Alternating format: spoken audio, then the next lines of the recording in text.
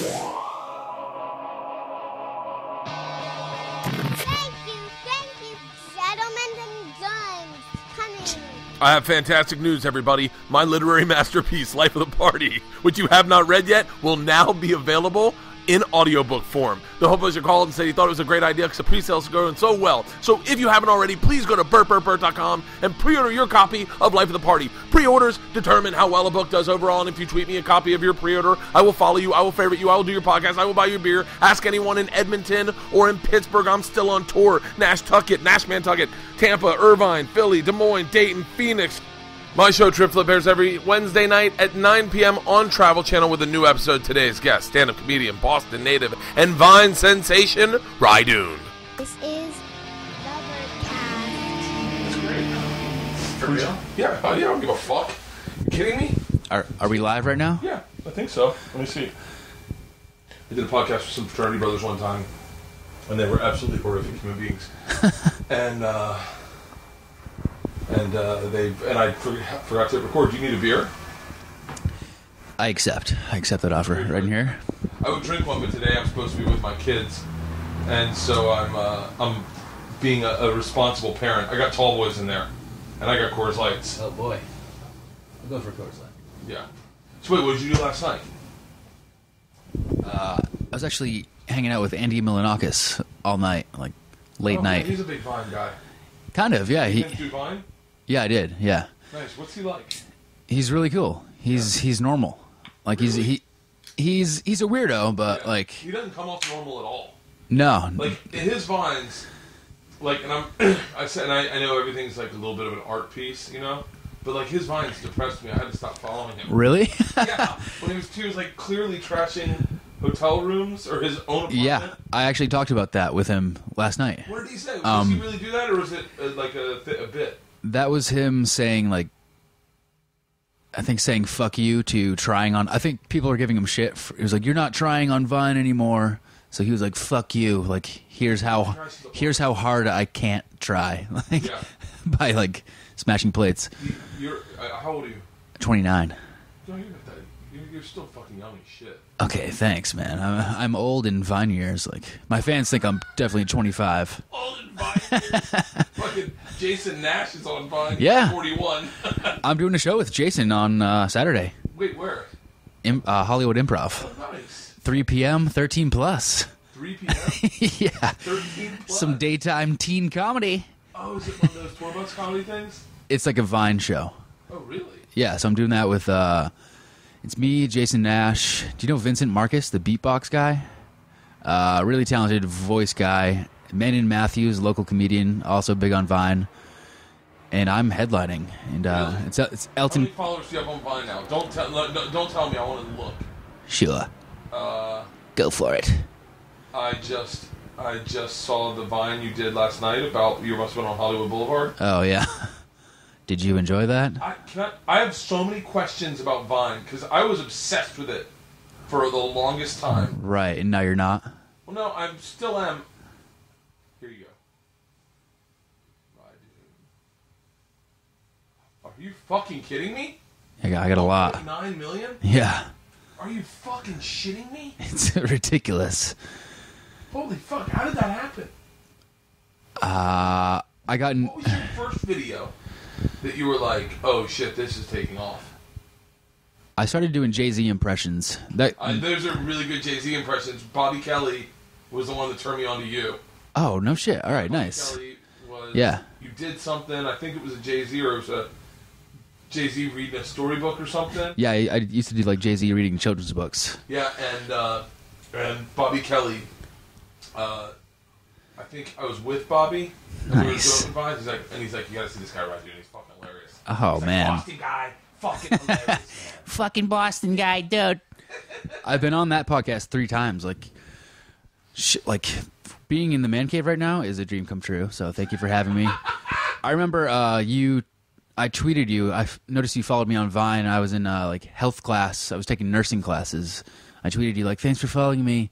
Then you tweeted back like, "You're hilarious." I love, yeah, I loved the. It's what it is. Made my day. What? Oh, I'm glad. You are fucking guys don't follow, I mean, you probably do follow him. If you're on Vine, you definitely follow him. Um, but you, you, the my the one that got me, the one that got me like the one where I went okay, was the beer party. Oh, awesome! I loved it because it was like something. That, it was something that had I been in college would have been folded into my our vernacular. R- yeah. It would have been something that it was like. Uh, it's basically a great SNL sketch. You Yeah, like, yeah, yeah. Have you ever thought about doing SNL? Oh yeah, since childhood. Like uh, I grew up loving SNL. Chris Farley was huge in my life. Um, I, I mean, SNL isn't like a set goal for me. I'm just trying to like be a successful comedian, stand-up comedian. How long have you been stand-up? Not long, man. Uh, under a year. Really? So I did my first open mic about two years ago. Yeah. Bombed really hard. Went got scared back into music. I've been a mus- musician for a while, but like my first open mic, like How bad could it be? I've seen bad, but how bad is bad? Everything was met with silence. So it wasn't like. yeah, it, it was in a, it's at Grandma's basement, which no longer exists exists in Boston, but like underground, like comics comic place. It was a room packed full of comedians and like Hang on one second. Let me make sure my mic's fucking. my mic's low as shit. Hold on one second. sure. So my daughters are playing with the fucking levels in here. God damn That sounds better. That sounds a lot better. I think it looks better. Okay, keep going. So you grandma's basement. Yeah, uh, my first open mic. Um, I had like prepped way too much for this. I like cared way too much about that it. is the biggest downfall of getting into stand up is giving a fuck. Yeah. Because you can literally, you can literally. I remember John Beamer was the guy that got me into my first open mic in New York mm-hmm. City at the Boston Comedy Club. And he went off to Martha's Vineyard for the weekend and he prepared and he worked all weekend for this Monday night showcase for his for his for his mic. open mic. he went. I mean, he went to the beach, like, and he fucking wrote, and he got it down, Wow. and he practiced it.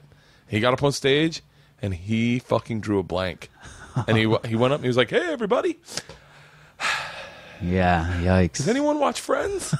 and it was like, "Yeah," and he was like, "Okay," and then he goes, "Oh my god, I forgot what I was gonna say," and he hopped off stage, and it got a huge laugh. Then he jumped back on stage, like, "Okay, what's up with Friends?" Oh my god, it's happening again. he got off and it was so fucking great. Oh, but that was like, yeah, that was the and then I got up and I had not prepared at all. I had no no insight, but I just talked about jacking off in a cheeseburger and everyone fucking lost it. And he was like he was like, How does that happen? Yeah. He was like, I quit. I was like, Really? Did And he quit? Yeah, he's now in med school in Chicago. Well, good for him. I He's, guess. yeah, but yeah, yeah. He was a journalist, moved to Atlanta, was a journalist, and then so wait, how bad was yours? It meant too much to me. Uh, like I should have just really not given a shit. But like I did, had prepped for it too much, and uh, my angle was too dark. I was talking about like. I, I mean, my first joke I thought was funny. I'll tell it on air right now. This is my first ever joke. Should I do that or should I not? no, yeah, of course, of course. All right. It was something along the lines of uh, I talked to my dad today. Actually, I'm not sure if it was my dad or a brick wall, but they both say "I love you too" at the same frequency. So Okay. that's, that's sad. No, it's it's sad. Does it come from a true place? Yeah, yeah. My dad's like super, or I, like super Irish Catholic. Really? He just he he doesn't say "I love you," which is okay. Yeah, it's interesting. My dad uh, is my dad will say I love you now, but for a long time I would say I love you, and he'd go okay, and I go I go Dad. Okay. Yeah, it's so funny too because my friends make big joke about it. They literally think that it's like I, I forget what I was on a TV show and they were like, "Your dad says I love you," and I was like, I didn't, I didn't give a fuck about that. Like it was like the what would you rather have this like a million dollars or your dad's acceptance? I was like, my dad totally fucking accepts me. Yeah. he just is old school. It's like he didn't say I love you to his dad, and so it's uncomfortable. Right. When I, but you want to hear something creepy? I had to kiss him on the lips every night I went to home from high school. Oh, really? He wanted to find out if I was doing drugs or drinking. Wait, that I had to fucking like kiss him on the lips and the cheek every single night I came home in high school. Every single fucking night. as a drug test? No, yeah, like no, it was like so he could see if I was drinking. So like that's like he'd be like, "Give me a kiss, buddy." I'd be like, Oh, so I it was, like, "Dad, I'm not-" disguised. It for, I remember the first time he did it. He was like, "Give me a kiss." I go, "Dad, I'm not giving you a fucking kiss." He's like, "Give me a kiss." Give him a kiss in the mouth, son. I go, no, I'm not giving you a kiss. He goes, I'm your father. It's not gay. I go, I don't care. I'm not kissing you on the lips. He goes, have you been drinking? I go, no. And he goes, then prove it. and I was like, oh, oh. So I went in And like I remember one time I had a penny in my mouth and I kissed it. Like, 'cause remember that? Oh yeah. Do you remember to, that? To disguise your breath. Yeah. I never did that, but I- I, I, would like stuff peanut butter in my mouth. Oh, like just, I never thought about food. I was like mouthwash or or de, uh, like Or uh, deodorant. Yeah, Wait, pennies. deodorant. Like yeah, like Not in your uh, mouth. Noir Noir. Noir- Oh yeah. Like Nu- How do you say it? Noir. Nu- Noka. Do you remember that? You don't yeah, remember it? yeah, yeah. The black. The yeah, black yeah, yeah, yeah, yeah. Noir. Noir- Drakkar. Drakkar Noir. Drakkar Drakkar Noir. Noir. Got it. I had to think for a second. so, uh, I got dry mouth real bad. so yeah, just keep on fucking, dude. This, there's other stuff up there if you need something. I thought I was at one point last night. I looked at Andy and I was there with my friend Michael Lopriori, who was also a big I know viner. Michael Lopriori. He's hilarious. Oh, you know who turned me on to Michael Lopriori? who Uh, dat? Adam Richman. Yeah, I'm buddies. I be I've become somewhat buddies with Adam. I've crashed at his place in New York City. He's Adam's Adam's so interesting because you know he's tech he's technically I mean he's famous. He's Yep. very recognizable. And he'll he'll be doing vines in like the airport. Like I saw him doing a vine in the airport. And there you have to be very comfortable with not caring what people think of you when you do successful vines. Totally. Like like you know all the Vine superstars like Brittany, Yep. Brittany, she I don't know if she's fucking with people. Like when she when she fucks with people, like I don't know if that's real or staged. Either way, I'm like, holy shit, you've got to have fucking balls. Does that make sense? Yeah, totally. Like when you fuck with people, when you put on the wig and you walk down the street, do people like? Is it peop- real? Yeah. Do people like? Is, are they really fucking looking at you like you're crazy? Yeah, especially when I have the wig on. That's a, the reason why I did the wig and stuff. Well, Yeah. it was also for the my original idea was uh, the punchline was why won't anyone talk to me? It's Yeah. like, obviously it's because I look like this. I would show show my face at the end. But I put that wig on in a way too much lipstick, and uh, people react like they enjoy it. Like it, the whole experience becomes like fun and like it's crazy. Like I I think like what what the fuck am I doing right now? and I'm thinking like this better get a bunch of likes. Like this better go well. But like I'm walking down the street, people are like construction men are like, "What's up, girl?" Yeah. And I'll just respond like, "Thanks, bro." Like I don't know. It's a it's been a lot of fun. What was your question? Uh, uh, when you like the real ones, like when you're pranking people. Yeah. Like Simon Rex uh, is is big on Vine too. Yep. And uh, and that's why and Adam turned me on to Michael Lopriori and Simon. Nice. And I've known Simon Rex for Right. I've known of him for a long He's time. been on this podcast, right? yeah. Yep. Yeah. I had him on the podcast. He's tall. He's like Is he? fucking six three. Oh damn. Dude, I didn't think I didn't think he was gonna be that tall. He he was uh nicer than I. He's the assumed he would be. sweetest fucking guy in the world. He's got like I think there's a look in his eyes. Maybe it looks he looks like he might not be all that kind, but Yeah, well, he's got he. What it is is he's. I mean, this is gonna. Um, this is gonna sound like I've paid more attention to it than he has, but he's kind of like uh, Hollywood royalty because he's been in the scene of Hollywood longer than anyone I fucking know. Like, Right, yeah, he he, ha- knows the players. Like, he's good friends with Paris Hilton. Like that scene. Like so. So you assume people in that scene are assholes. Like Right. I don't know Paris Hilton, but I assume she's not the nicest person. I remember one, I went to Kimberly Stewart's house one time, and Kimberly Stewart was a cunt to me. yeah, she had a party. I don't even know who that is. Rod Stewart's da- daughter. Oh, all right. Yeah, Oh, she like shit. dates a DJ. Dude, I might have actually done a show. Uh, I did a show when I first got to LA, ho- hosting for fucking music acts, and there was one band I was told a bunch, uh, like s- several of Rod Stewart's kids were in that band. Oh, really? Yeah, so are you gonna are you gonna move to LA? Do you think yeah, you are? I am. Yeah, I mean, What's the time frame? let's see, my lease is up in September. Oh, really? Um, You moving out with friends? I have a girlfriend, a long-term girlfriend. How long? So I'd be moving out with Longer her. than stand up? yeah, man, Oh, how long? eight years Holy shit! since I- I'm like you, kind of since college. Fuck. We met in college, although you met your wife in high school. no, I'm, no, no, no. I met my wife out here. Oh, after college. yeah, yeah, yeah, yeah. But you've been together forever, right? Ten years. Okay. Yeah. Anyways, yeah, fucking eight years. Wow. So, is she cool with what? What were you doing before you got into stand up?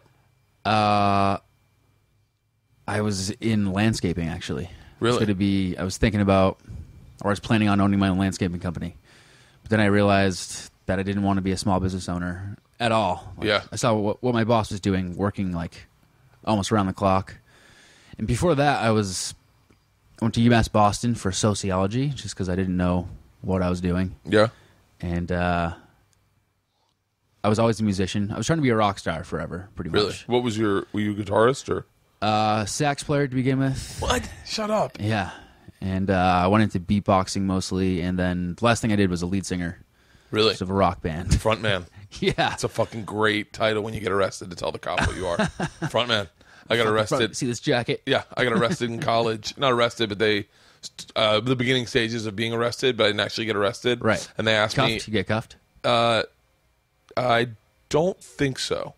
I was sat down, uh, and but they were doing it like they were doing it for my own good. If that makes any sense, there was going to be a fight, and uh, they had come over to kind of calm me down. Gotcha. And so, and I was really upset, and uh, and the cop was like, "Listen, we're we're gonna take you in, and it's gonna remove you from this situation." And I was like, "Okay." Right now, everyone's like, "Wait, who the fuck were you gonna fight?" Because now I'm hearing this, I'm like, it sounds like I was gonna beat up a girl, but but it wasn't. It was a dude. It was a dude. We need to separate you from the situation. Yeah, they, they were like, we need to separate you from the situation. Shit. Everything's going to be fine. They're going to take you in. And then the guy said to me, he's like, uh, what's your name? And I was like, am I being arrested? And he goes, what's your name? I said, Bert Kreischer. And he goes, occupation? I said, frontman. And he goes, sorry. I said, front man. He goes, what's that? I go, uh, I told this to Pat Monahan, the lead singer of Train. And he's like, I've never called myself a front man ever. but yeah, that's what I, that's what I, I've, I viewed myself as a front man. Was that a that was a that was a genuine answer? Like Oh yeah, that's I'm at my funniest when I don't when I'm definitely not trying to be funny. When I'm trying to be serious, like when I'm in earn, like I Yeah. wrote a song. I wrote a song. I don't have any fucking guitars out. But I wrote a Oh, song man. called um called uh uh oh fuck I can't even tell you the name because it makes me embarrassed. But I wrote Nice. a song and I and I played it for my band. I had a band in college. Oh, okay. And I played it for them, and I I was like. I was like, "What do you guys think?" And they thought it was so funny to watch me be serious that they would get me to play it at parties. And then I and I thought they liked it, but what they were doing was saying, "This is the worst fucking song we've ever heard, and you'll enjoy how bad it is." And so I would sing it in earnest, and they'd even sing it with me, and they were just Oh, like, no. "It's fucking," and everyone was laughing at me, but I had no fucking clue. My buddy Obi was like, "He was like, I love you, but you cannot play that song anymore." He's like, "It hilarious. creeps people out." Like, like they, I came into band practice one time and they were jamming the, uh, to some old U2 songs, and I was like, I was like, oh, I've, I'm, you know, I know U2. I didn't know U2 though, but I didn't know that they were playing that. They were just jamming, and I was like, oh, this is fucking awesome. I was like, guys, these are really great songs, and they're like, you think? I go, yeah, they're really good. And I was like, guys, these could be hits, and they're like, you think they could be hits? I was like, yeah, they could be hits. I go, and they're like, why don't you try to put some lyrics to them? I was like, okay. So I fucking made up lyrics to U2 songs, and I must have looked like a fucking asshole. oh, that's awesome. Yeah, but that's I think that's when I'm uh, my funniest is when I'm trying to be serious because I, I don't I don't I just look I would I imagine a porn. Now, do you do that in your stand up? Do you do you try to be serious and stand up? No, I'm so fucking in a weird place with my stand up right now. I um I am I, I had these like two little breakthroughs this weekend where I where I was like where I told stories that were like very vulnerable. But I was I was going through a little bit of a spiral this weekend. Oh yeah. Yeah, and it happened on stage. Like it, I, I I'm very simply when I drink a lot, uh, my body, my body's fine the next day. I can work out, I can do everything, but my I think the dopamines in my head are low, so I start like getting obsessive compulsive about. I mean, if I told you, you would fucking laugh at me. You'd be like, "Are, are you fucking serious?" I'd be like, "Yes." I start thinking that some, that I'm going to die of something that's and I and it goes from one thing to the next and and literally it can go from the other. And so it happened happened to me on stage and and I was in that place and I was like fuck it. And so I got very vulnerable and I ended up telling like three stories that I would never normally tell and they worked. And I went oh wow that's interesting. And then I thought oh they worked because I'm sure people have gone through that too. And I was like wow that's such an interesting such an interesting place to come from with stand up because a lot of my stand up's always been like you know, Crazy crazy machine stories. sto- machine stories, and Yeah. fought a bear, fucking jumped out of a plane with Rachael Ray, drinking, sex, like that. And so I was like, wow, I told this, I told Awesome. this story, and I was like, wow. No, wait, where are you at? One year in, where are you at with your stand up? Just joke to joke? Uh, no, I'm going through. I shouldn't maybe say a similar thing, but I'm talking about my family and my mom and my dad. I have this bit I'm trying to work out. It's about feeling feeling like a creepy uncle. I'm an uncle. I have a bunch of nieces and nephews, Yeah. so I'm trying to like do a bit about the. F- Are you an uncle at all? No. Maybe you feel like a creepy dad. You ever like walk around with, your kids and you think like people are thinking you're a, a creep or like I, well, I, th- I think I definitely, I definitely, uh, I know what you're talking about. I remember I used to it's tour. hard to ex- explain. I know, I know, I know exactly what you're talking about. Uh, I used to tour with this guy, and our, our road manager was this guy named Walter, and Walter had two boys, and we would go over to their house, and and kids don't know that they can't just sit on your lap when you're yeah, a single yeah, dude. yeah, stuff like that. Yeah, and like, and they'd run around naked at the pool, and I'd be like, "Dude, dude, put a fucking Right. snuggie on that kid or something because that just seeing a little boy's penis fucking makes me cringe because I'm like I'm like I understand that I should be adult enough to go Right. it's fine he's a child Yeah. but I'm still like hey man it's weird. there's a fine line between that you know I don't know if that's what you're talking about but Yeah. Um, like one little story is my niece Bridget asked me to play Tickle Monster one time, and I said, "What's that sounds like a molestation I know, game yeah. let's Well- play Tickle Monster oh, wait that really sounds like an invite to molester Yeah. And then I asked her what that was, which was a mistake, but it was funny. yeah She she said it's when adults go down in- into the basement and tickle little kids. so it's like, wait who how did she learn it oh, okay. So Tickle Monster, for the record, it's just when I'm sure you do this, like you chase little kids, like I'm gonna get you. Yeah, yeah. And then like if you catch them, give them a little tickle on the shoulders or whatever. Yeah. So I guess uh, with her grandparents, they call it Tickle Monster, and it really is. She plays it in the basement. she really does end up in the basement That's like where they play. Yeah, yeah. Like a furnished basement. And it's it's when adults go down into the basement and tickle little kids. pretty That's much. fucking. But when you word it that's a like that, good- it's fucking creepy. Yeah, man. Tickle Monsters are great. That sounds like. It does sound like something Michael Jackson would have played. Yeah, I was just gonna say that. Yeah, like no, but that's a good. I like that bit because uh, there is. I got. I did an article for some parenting magazine one Nice. time, and they were like best place to tickle a child, and I was just being honest. Oh my God. And I said the best and the and I, I, this is gonna sound creepy as See, that's fuck. a creepy. That's a creepy question. Yeah, it is a creepy. it's a leading question. And so I said the best place, and it truthfully is the um, right below the diaper line, like right in your guts, right here. Yeah. Uh-huh. is the best t- place to tickle, tickle my children. But I, I made it sound like any child, like go up to any child, put your hand in their diaper, and tickle them down there. Right, and it, right. I read it, and I was like, "Mother of God! Yeah, why did someone edit that out?" Yeah, that's what that's what I'm talking about. Nice. Yeah. And actually, have you seen the movie? Well, have you seen Parenthood? Steve Martin. yeah, of course. You know that scene towards the beginning that shows the naked kid, naked little boy in uh, dressed like a cowboy. Yeah, All right, so I saw, watched that movie as a kid.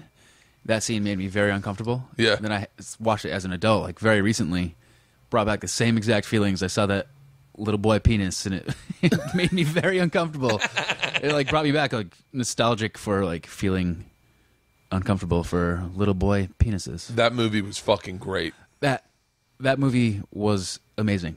It was like Yeah, it was touching. It was funny. yeah. Do you know what? It had it Uh, all. do you know what movie was? uh, uh, You know what movie was really fucking good? About Time. Have you seen it? No. It's I, you. I. It's, I just. I'm obsessed. My wife believes there's two types of people: people that like time travel movies and people that don't. Yeah, I love I like. time travel movies, and I realized why I love them the other day. Like, I Time Traveler's Wife is one of my favorite movies ever. Fucking never love. seen that. I don't. You no reason for you to see it because it's a chick movie. Oh, okay. but I fucking love it. Quantum Leap, favorite Oh, yeah, yeah. show ever. I love Back to the Future? Leap. Oh, Back to the Okay. Future, fucking amazing. Oh yeah. How about Donnie Darko? Amazing. Yeah, I love Donnie Darko. I Darko. love Donnie Darko. Donnie Darko was the first movie I saw where I was like, "Ooh, I this is I get it. This is the kind of movie you have to watch twenty times to figure out what the fuck this is about." Exactly. I I watched that s- several times, and then I actually watched it with commentary, the whole way through. Yeah. I was like a Donnie Darko nerd for a I little was while. a huge Donnie. Uh, I, yeah. I'm seriously questioning your commitment to Sparkle Motion. Every team I've ever been that needed a team, I call Sparkle Motion. Nice. Every fucking team I've always called Sparkle Motion.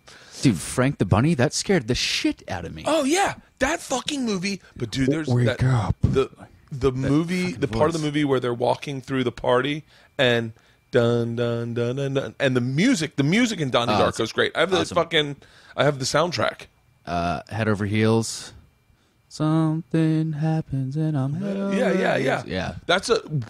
They don't make movie. They don't make music like that anymore. And you don't remember it really. You're my sister's age. Like you're b- both born in like what 81, 82, 84. 84. Yep. Uh, eight in 89, 87, 86. The music that was made was this like. Uh, it's like Morrissey and Siouxsie and the Banshees and like all this great like like uh like the end of uh the end of the Breakfast Club Oh, yeah. Yeah. Ah. Don't you. You forget about me. This is yeah. Right now, everyone's like, "Yeah, fucking please don't sing it." But it's the truth, man. That th- that music, that music. This is gonna sound so creepy. Um, defined my sexuality, if that makes sense.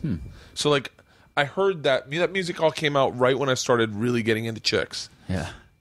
but it defined my sexuality in the sense that like i i i just, uh, this is vulnerable so i'll just say it but like i dreamed of the day i got to kiss a chick like I, like when i first got into chicks i was like oh i'm like i didn't notice i was straight but i was like oh i'm fucking like it, what I'm sure that the equivalent of that is to gay, where you go, "Oh, I'm fucking into dudes." Well, I was like, "Oh, I'm fucking into chicks," Yeah. and I remember thinking, it'll be fucking awesome when I have a girlfriend. I can like feel her tits.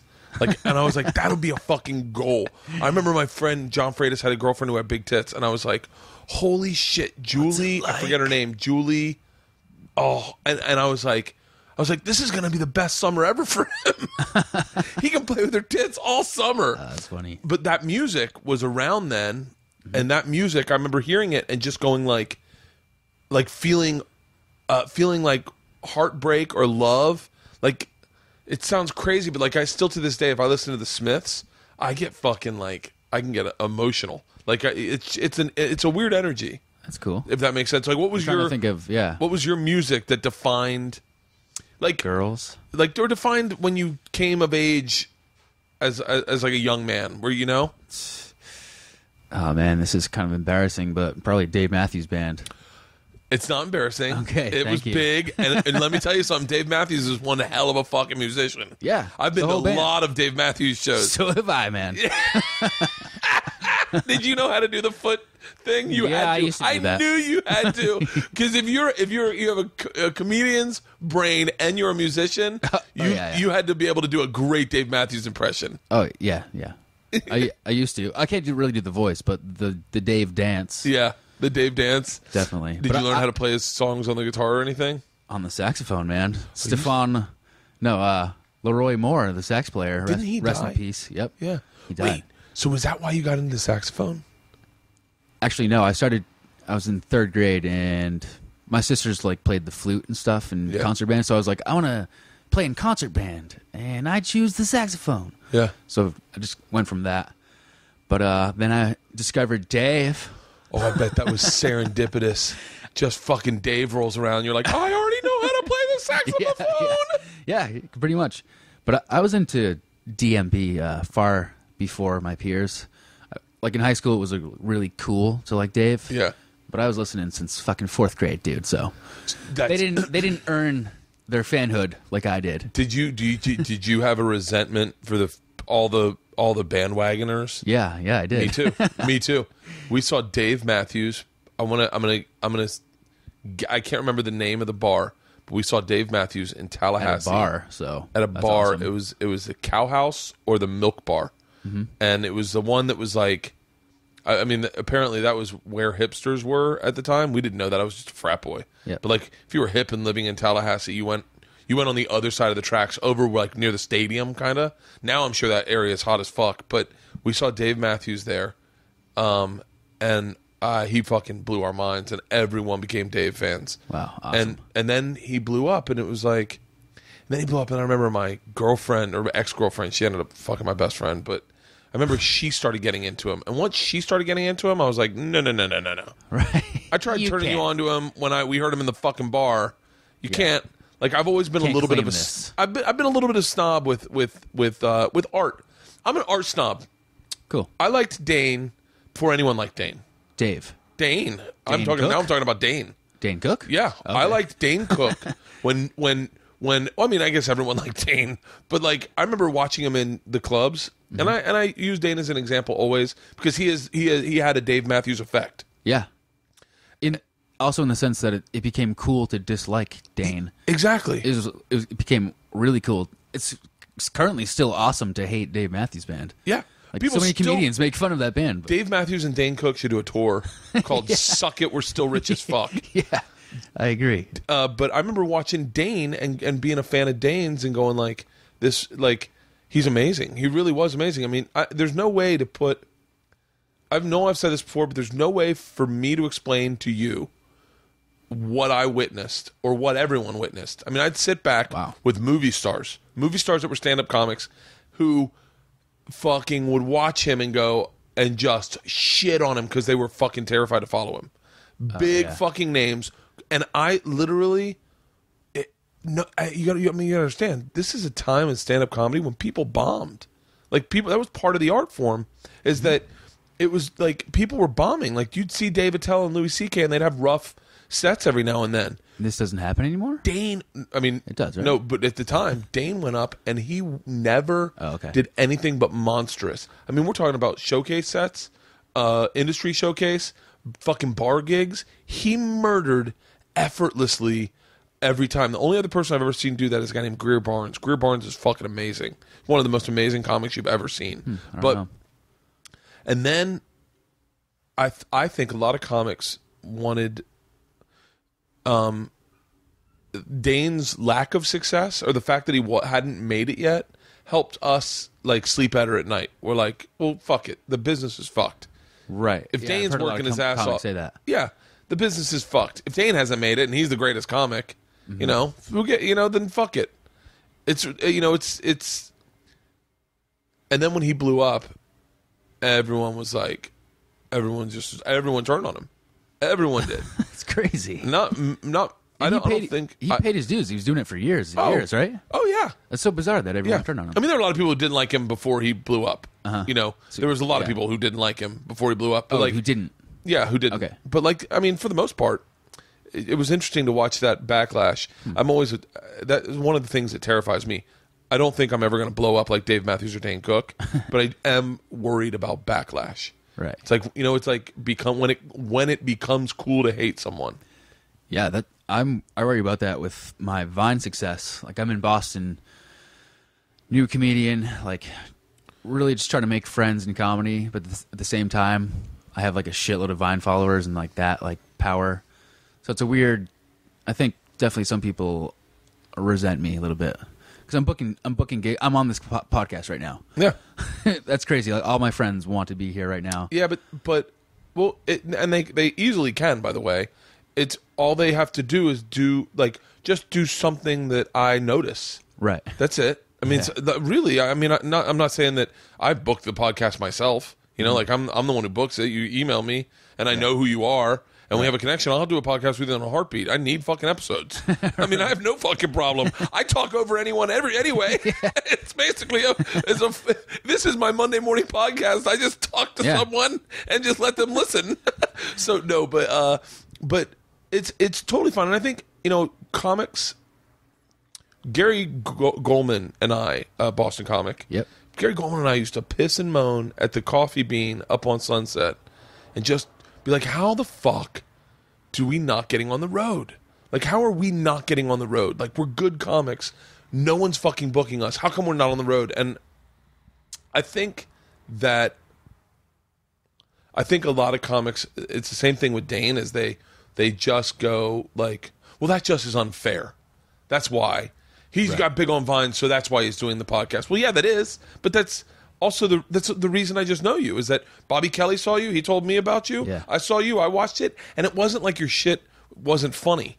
Like your vines are funny, like really funny. That's why you have almost two million fucking followers. Yeah. So you're what you're doing Thanks. is right. The thing, the thing that is you have to be careful from is, is like, and I I assumed it would have happened to Bo Burnham, but it didn't. Like that kid fucking blew up on the internet, but then actually was talented as fuck, Right. And extremely nice and gracious, and and and could keep creating material. You know, like Right. he hasn't fucking he hasn't floundered at all. I think he's Yeah. doing theaters. That new special he's got. yeah, and he's funny. He's smart as fuck. Yeah, he's super smart. And he's gonna get out of stand up. I mean, stand up's gonna bore him. He'll be make so? yeah, fucking. You got to be a He'll be right. Like, what do you think he'll do? Oh, he'll be making movies. Do he'll do an opera or he'll do a he'll do a um, musical Yeah, yeah. and it'll go on Broadway and it'll be a huge hit. And he'll find people that are like him, that are like that think like him and think bigger than like set up punch or a story of what happened with me and my daughter. I'm a pretty simple guy. I'm very cool with the just the payoff of getting the laugh. I don't need to do the movie. I don't need to be a movie star. Um, I'm gonna be nice, but like I would, I wouldn't mind a sitcom. That's my goal. It's like a fucking four camera sitcom, shoots Yeah. in the valley, dude. That's it. That'd be awesome. I'll do it. F- give me four years. Get into syndication. Four years, and let me do theaters and and or or better weekends at clubs. More money. That's all I fucking need. Stay on yeah. Travel Channel. I'll be on Travel Channel for twenty fucking years. I love that gig. I have Yeah. a fucking blast on that show. yeah. Um, awesome. I work with the coolest people in the fucking world. But someone like Bo Burnham, his, I think he's a little smarter than that, and I think he would get bored. I think he'll. I think Mm-hmm. I can stand up. that. I think stand up's going to bore him Yeah. and and if it you know but he's a smart kid He's released a poetry book recently, so he's doing poetry. yeah and he's new what like, he's- special is he's like like- 22 Yeah, he's 22, I think. yeah he, and, he's, and he's Bastard. like six seven See, I, I just had a thought like, f- God damn it, that I, I just had a moment of jealousy. Like, yeah bastard, fucking That's 22. the biggest mistake you can make is Right. is in this business is judging people's age and success against your age and success Ah, gotcha. because there's no fucking correlation there's absolutely no correlation um, look at uh, I, I, there's no way to do this other than just shitting on people. So, I'll, uh, Uh-huh. Go but I'll for say it. like I'll say I'll say look at it on the other side of it. Okay, like Louis C.K. Was he 50 No, Right. 50. He's got to be 50.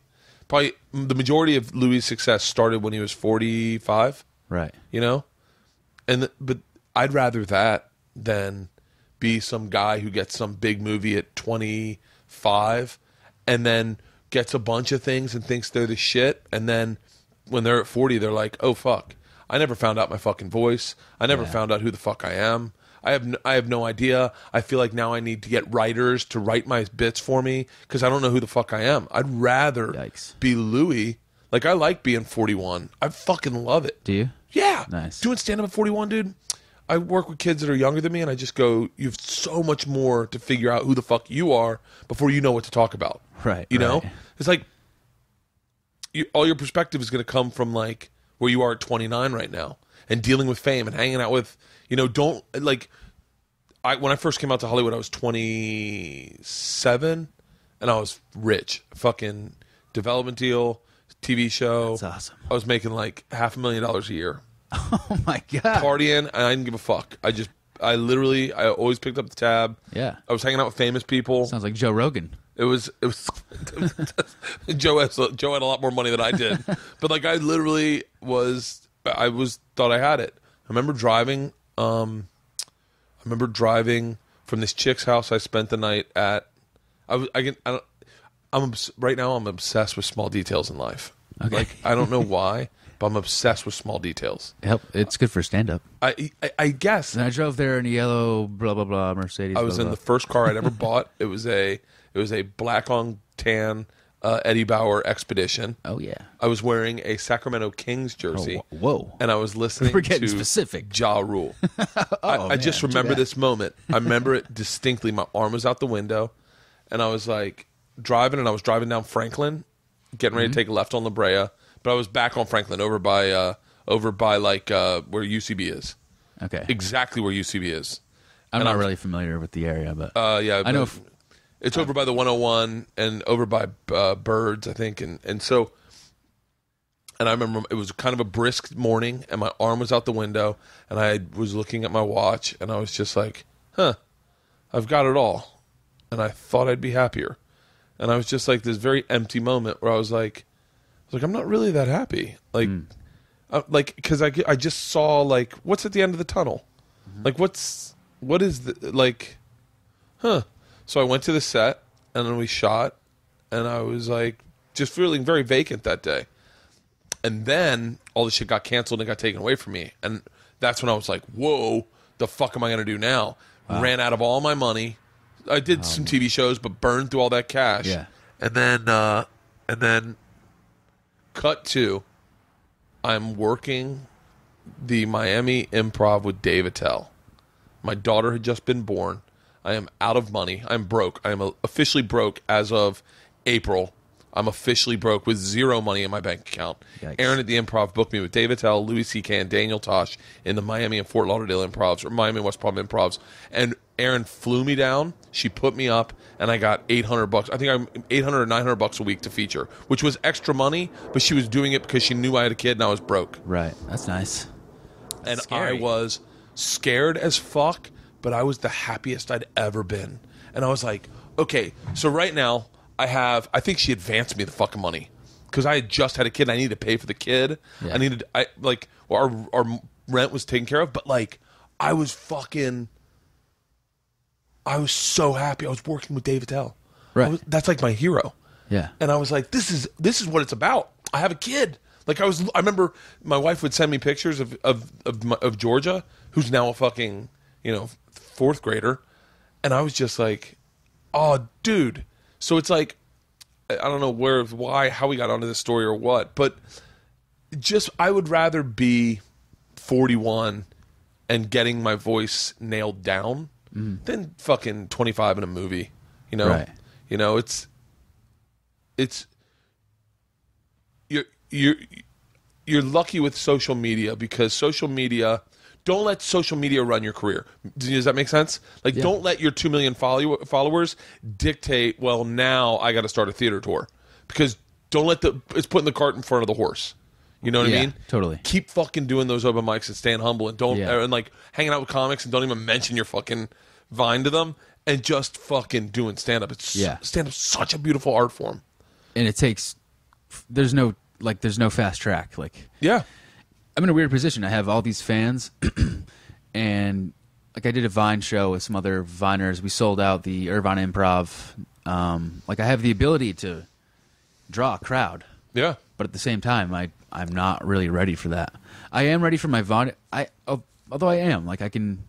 Here's what I do you- well in front of the Vine Vine audience. Yeah. Well, they well they know your personality. Yeah, It's- so I can. it's- It's, pretty easy in front of them. In front of strange audiences, I, I still get laughs and stuff, but it's Yeah. obviously much harder. But Well, I think that probably has something to do with the fact that you started stand up in Boston, and Boston's one of the fucking. Yeah. It's like it's learning like learning how to ice skate in Helsinki. yeah, it's I brutal. that analogy worked. Helsinki. I don't know. It just seems like somewhere that ice skating's like I get it. happens a lot. I, I understand that analogy. So, um, so what? Uh, when what what is like a Vine meetup like when you do shows with other Viners? Like, who are the top Viners? Uh, let's see. Well, there's the tippity top. There's a guy Nash Grier, who's 15 year old. He's just the it's the Bieber effect. He's blown up like big time. He's got bright blue eyes. Really, Uh, he's number one. Nash? He is like he's got a million followers on Twitter Really? and two million Instagram. He's uh one of the biggest celebrities right now. Okay, Nash. And he's just a fucking What's his high name? school kid. Nash Greer, G R I E R. Oh yeah, And you're probably not going to enjoy his videos, but really? you'll like his glacier blue eyes. That's all that fucking matters.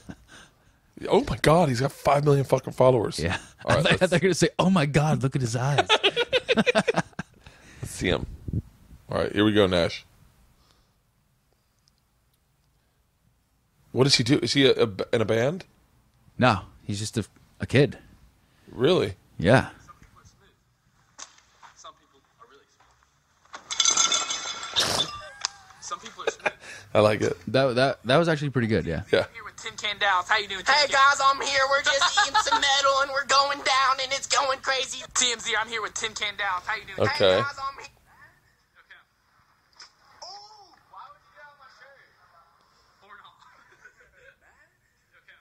How many likes does that have? Scott, it's uh, 174,000 likes. yeah. Him throwing a glass of water. His eyes are beautiful. yes. Oh, fucking suck it, Nash Grier. You know what? I had fucking beautiful eyes in high school, but then I got tired, and now I'm just always tired. I got, look, I'm going to hit my eyes real quick. What are you doing? I got better eyes than Nash Grier. Yeah, you do, man. Um, So, so Nash Grier's like a fucking top viner. So what's he Yeah. going to do? How does he parlay it? Like, He's already. So I've heard he's like Disney's already like bought into him. He's making Really? money. People make money on Vine. Like I've been making money on Vine. how? Uh, like integrations with Doritos? Yeah, exactly. Really? Um, I have a Vine agent Are you shitting me? agency called Grape Story. Yeah. Uh, have you heard of Gary Vaynerchuk by any chance? No, is he on Vine? No one has. I always ask around. No, he's like a investor dude. But Jerome Jarre, the French dude on Vine, That is, investor dude. That is so. That's so fucking investor, sketchy investor dude. Like, have you ever heard of this guy? I was on his No yacht the other day. He said he's a millionaire. He knows, says he knows you. yeah, I know. No, I've googled him. So, legit. so he's He's the, the he- head of Grape Story, which is a Vine agency, and they bring brands to Viners, so- and also not a bad brands come to Viners too. But brand. So, so did he find you and bring you a brand? yeah, I'm signed to them, and uh, I've What's your Vines. Can you I've talk done- about it? Yeah, I've What- done several. I've I recently did a Vine for Ford Motors. I also did Pepsi, like big, big corporation. Are you fucking kidding me? no. Holy shit! Yeah, my Pepsi Vine was terrible. really? yeah, What was your? they controlled it too much. It was a classic case of like, Oh, so they came and they told you what they wanted to do, and they wanted you to do it. Yeah, they pitched a lot of freedom, and I was like, oh, cool, I can do whatever I want. But then as time went on, it became more and more specific. And then it led to just like a, a Vine that I hate. I'm gonna do a vine for combos. I fucking love combos. yeah, nice. But I don't think they have any money. no one eats combos except for me. Oh, you know what? I was thinking. Do you still do you still do the um? What will the maid maid think? Yeah, I was thinking about like doing that on Vine. yeah. Uh, oh, the, the reveal to the maid. Yeah. I did. I did a web series for You Live. Oh, okay. Where uh, they, I did. I I rented a hotel room for like a week here in Hollywood, and I did a bunch. I did a bunch of really fucking insane ones. Nice. And then I had the room next door to it, and so I'd have the maids come in, and I hit it, put cameras all over the place. Oh yeah. I did that. Um, I put those up. I, I you know, I I got so. I was so into them for a while Right. um, but it was before Instagram. Like it was like so it was like you just put them on Twitter, but it never got that much traction. Oh, really? It, yeah, it, well, it did. Here's the thing: it did randomly one day. Like one day, randomly, it just exploded, and it blew up on in like uh in like um Norway, and and yeah, and it blew up in like Norway or Sweden, and and then it fucking went viral because of that. But then and then Good Morning America talked about it and the Today Show, but they didn't credit me. They were like some Ah. comedian, and I was like That's the worst. And so uh and so yeah, so it never really got like I never really got a payoff. I got offered a book deal, but they were like, "Do you think you can do like 50 more?" It was wait, I don't know if I got offered a straight up book deal. I forget how it went. I and, uh, God damn it. I remember when this happened. My agent called and said they wanted to do a book. I think. And but they wanted like 50 more. I was like, I, don't, I can't do fucking 50 more. Right. I, my fucking memory's going, man. I think I got some sort of disease. Like Nah. I, I literally will freeze in the middle of a thought and just stop and then just. But so wait, so you get that's fucking awesome. So now what about like products like uh like say like what are other opportunities in Vine? Hmm. the chance to sell out comedy clubs. Uh, How about selling my book? What can we do a vine with my book? It's right there. Just Oh, is it? Yeah, yeah. Do a vine with my book. Just five thousand bucks. five thousand bucks. Talk to my agent, I'll talk to what's his name, Gary Le, Le, uh, Vaynerchuk. Vanderchuck. he sounds, Sounds like, like a, MMA fighter. Yeah, sounds like an athlete. Vanderchuck. Um. So I always uh, thought that was. I thought it was Brody Stevens from this angle. really, Yeah, yeah. No, it's, clearly, clearly, clearly not. You are no. more It's my- attractive than it's he. my book. It's uh, uh, it's fucking uh, fucking exhausting. Right? Yeah, I have heard you talking about that. I've all I fucking talk about is this goddamn book. Um, Those are it's some thick bright though. blue eyes, bro. What's that? Those are some nice eyes, dude. I have beautiful eyes, right? Suck it. What's his name? Rush Pierre. Yeah, that's his name. What is his name? Nash Grier. Nash Grier. So Nash Grier is pretty fucking big. Yeah, he's huge. What's your best vine you've ever done? Uh, like the one where you're just like, There was a vine that blew me up. It gave me a big spike. It was uh, "Do you want to dance with me?" I don't know if you know that. I don't remember that one. Eh, I just went to a homeless guy and sang that, and he told me to go fuck myself. and then after that, he's all right. So it was, "Do you want to dance with me?" He said, "Go fuck yourself." Then I turned the camera to me. I said, "Why won't anyone dance with me?" He and then he said, "Because I want to fuck you." really weird. and I did that, and I was like, "That doesn't make any." s-" It was like my comedic brain was like, "That doesn't make any sense." Yeah. like this won't be good. But like it was so bizarre Yeah. and uh, it was a catchy melody, so that like went viral on YouTube, and that got me. There was three days straight where I was refreshing uh, my follower feed. I was getting a follower per second, Really? if not more. It was fuck. It was crazy. I haven't, I haven't, I haven't vined in a little while, but uh, in Instagram, the videos don't pay off the way they do on Vine. No, no, no, Instagram's no. all about pictures. Yeah. Vine is all. Vine is interesting too because it doesn't need to make sense for people to like it. You know, I, I know.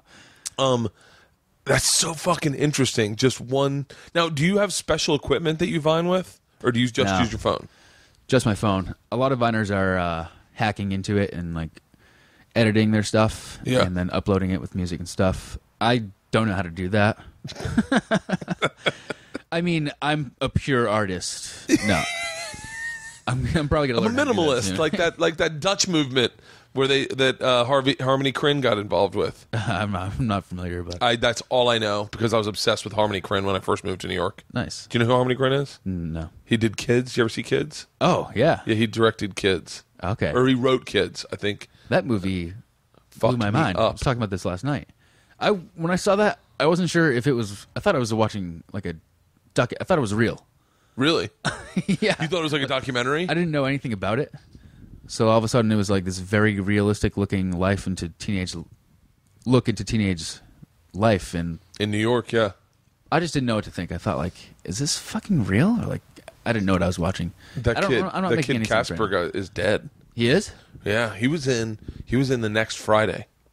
Oh really? Yeah, I've done a lot of research. That movie kind of fucking, like, just one of those movies that just fucked me up. Mm-hmm. You know, like I literally was like, I when when Casper gets AIDS at the end of the movie, and you're just like, So dark. and you're like, oh my god, he just raped her, and you're like, oh, oh my god, and then and then I just was like, this is not how a movie's supposed to end. Yeah. Like I needed a better Something ending, awful. like in the movie like, About uh, Time. See, I think integrations are genius. I really think, and I think integration should be done on podcasts. I think there should be integrations of a product like Coors Light. It's a great beer. It's a beer party. It's a beer patty. How did you Coors Light. It's guys- a beer party. Do you do that in your stand up? Do you drink, bring beer party? in yeah, I tell the story behind that. Really? My, my dad came up with that. Wait, what do you mean? He caught me drinking when I was a teenager. This is a long story short. no, no, no. Tell me the long story. Excuse me. Well, It's so weird. When I clear my throat, I sound exactly like my dad, and it freaks me out when I do it. Are you serious? yeah. So it's that's bizarre. It's like Sarah Silverman's joke. The other day I was licking jelly off my boyfriend's dick and I was like, oh my God, I'm becoming my mom. yeah, yeah. Uh, that's funny. Anyways, beer patty. I was 19 years old, watching the Red Sox with some friends in my kitchen back home. My dad was out to dinner, but he came home early. So he pulls into the driveway. Uh, my two friends like freak out. They ran out ran, ran outside into the bushes, like literally, like it was really stupid. They just should have stayed and dealt with it with me. Ni- 19 year old solutions to problems are fucking that's why they shouldn't let that's they shouldn't let you go to the military until you're 25 Yeah.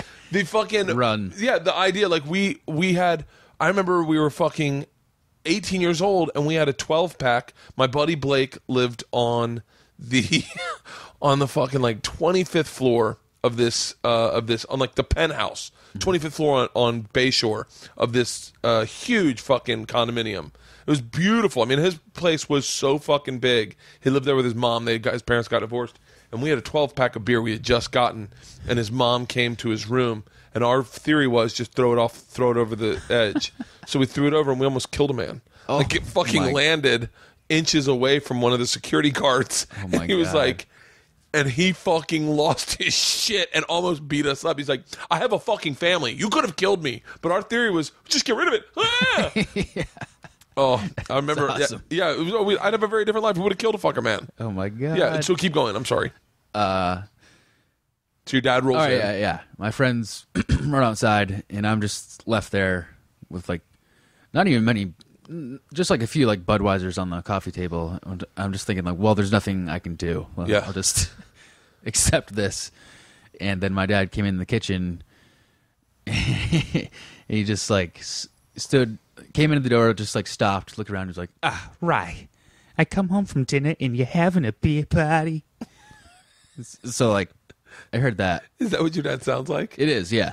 That's Kind of like he- Peter Griffin. Is he from? Is he for like from Boston? He's from New Bedford, Mass, Yeah.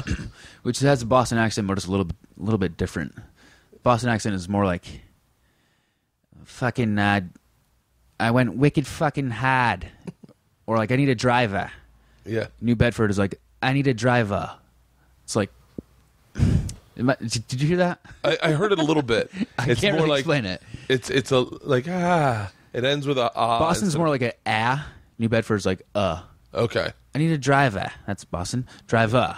New Bedford. I think. Yeah. Maybe I'm making this up. This is the way I hear it. Yeah. But yeah, he said, I come home from dinner and you're having a beer party? So at that moment I was scared, but like I knew like like that's funny. Yeah. And then like it became a thing with all my friends like it's a beer party. Pretty much whenever I'm drinking a beer I think in my head like it's a beer party. So I it's so funny. I sat next to a guy one time who on a plane who every time he took a sip of his drink he snapped his fingers and pointed. Oh my god. Like he'd take a sip and snap and point. And I thought that was so fucking funny that I started doing it. I was doing it right next to him. I was sitting and I was snapping and pointing. And he's and he looked at me. and goes, "I know, right?" Now and you I, got I, it. I'm mocking him, but I then started doing it in earnest. like I'd take a sip and, "Yep, you got it." There it is. It's amazing the little thing that like sticks like that, and it becomes part of your. Yeah. Like I was saying, I was saying, I was dissecting the "That's What She Said" this weekend. Mm-hmm. So is that that's what she said has been around forever, Yeah.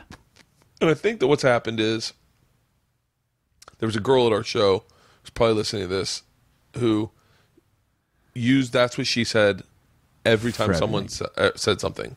Yeah. and it was it was like it was it, it's fine because we felt like she was mocking it and then she said she wanted to do stand up and in doing stand up she wanted to she was like oh i'll just i'll use my that's what she said. And i was like no you can't do that in stand up she goes it works. I go no it doesn't work. We're laughing at you. Like we're we're laughing at you laughing at people who use that Yeah. don't you realize that she's like no i use it what i think happened is that it fell out of graces with people in general. And then people started using it as a reference of a ridiculously bad joke. Right. And then in doing that, it turns into It a good into joke a- again. yeah. And now it's falling back out of graces. That's Does funny. that, does that make sense? I Yeah, had someone I in the audience this weekend said that's what she said in the middle of one of my jokes. And it killed. And I was like, fucking shit. Oh man. But you can't, like, you know, Steve Carell in The Office like made that popular again, and it was out of making fun of a Yeah. bad joke. Did you watch The First Office with Ricky Uh, the- Gervais? no, I didn't. I, I'm sorry. I know it's cool. I know it's cool to like that version. But No, but that is the funniest. is it? Oh I gotta yeah, watch it. because the office the office here was good, but it's still very Americanized in that the sub- a lot of things were lost in the subtleties. He was so good in the subtleties. Ricky Gervais is a fucking genius. There was a good. and uh, the joke I'm going to tell you is is not subtle at all, but like my I remember I was with Gary Goldman in I spent a lot of time with Gary Goldman when I was younger. I was with Gary Goldman in uh, Houston, Texas, and we're watching it, and I turned him on, and the joke was they bring in a corporate trainer to te- to teach them how to deal with angry customers, and in doing that, they're showing them how a bad customer would interact. So the guy says to Ricky, um, Ricky Gervais, he does an example of Ricky is he's a bad customer to Ricky. Hold on. God damn it, I I can't remember how it goes now. Ah, fuck. You just got to Google it. Just type in Ricky Gervais rape, and it's, it's but it's so funny because Ricky Gervais is trying to be a, an angry customer, and he's like, "I've got a problem in my room," and the guy goes, "Don't care, don't need to know about it." And he goes, "No, I think that you'll want to know. Not my problem. I think it is your problem. No, it's not my problem." I think it is. Don't care. Not my problem. I think you could. There's a woman's been raped up there. and the guy freezes, and Ricky Gervais turns to the crew and he goes, "Now, be prepared for anything." it was he. It was so fucking good. Uh oh, my wife's here. Hey, babe. Hello. Yeah, that's. Cool. I don't know what she's fucking doing. She had a meeting for. uh The fuck is your wife doing at your house she, right now? she shouldn't be here. she shouldn't be here. I told her not to come. Um, so now, so so, what's your plan? Like, you got it. Do you have do you have a manager? no. You should get a manager. I Yeah, mean, how? and I only say this. How? How do I do that? We have fucking two million followers on Vine. I guarantee you, if you have someone take a look at how's Barry Katz not scooped you up, Yeah, Barry, come on. I'm I'm unstoppable. but like uh, the you should have someone. undeniable. you should the best thing about a manager is they can direct a career. They can take your career and go you know where like uh, you need to be going towards this. This is what we need to you to do. And like they can get you out where you can get they should have you featuring with a big name comic. You can help draw for that comic. You can probably get a cut of that of that do like a split door deal or something or at least get a portion of the sales of tickets for a guy that isn't selling. And then you and him are on the road together a guy you get along with that you should be on tour. You should be learning that uh, learning how to like you should be literally doing stand up every fucking weekend on the road. You're young. You could totally do it. They should be they should also i mean i think you should audition for like snl audition for snl or, do you know how to go about doing that. how like Lorne Michaels has contacted a Viner, Simone Shepard. Uh, she's a Viner. She was she black? Yep, it's a black woman. it's, yeah it's not that doesn't count Right. Yeah. No, I mean, it He- that doesn't was that count. was their goal too. Yeah, yeah, that, that was that. They got in a lot of trouble for that. Yeah. And for those of you who are wondering what we're talking about, Lorne Michaels said, "I need a black funny woman," as opposed to a funny woman.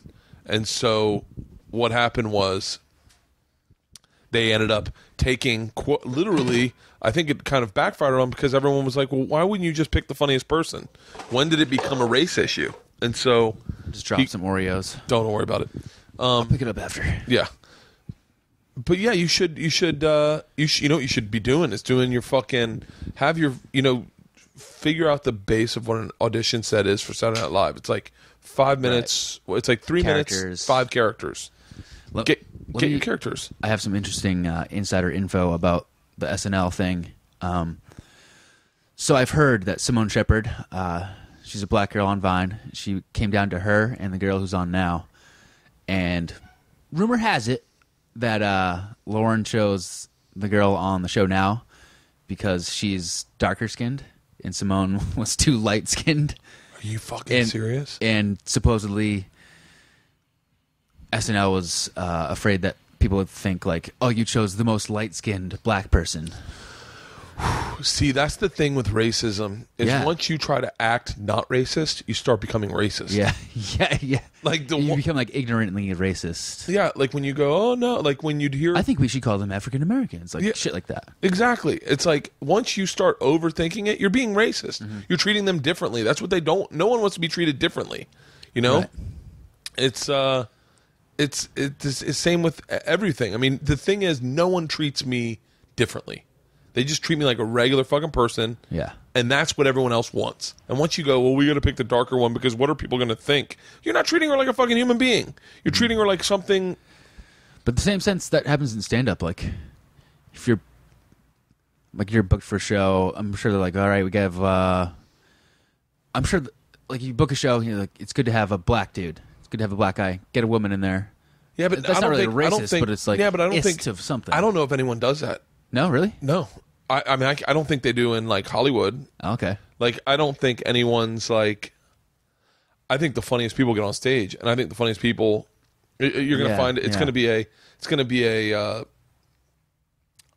I mean, I say that, and I'm sure right now some black dude's losing his fucking mind, going, "No, no, no, no! They only book white guys because it is a lot of white guys." Yeah, but I think there's, a there's a lot of white guys doing stand up. I think it's Yeah. proportionate to what they have in the in the in the pot.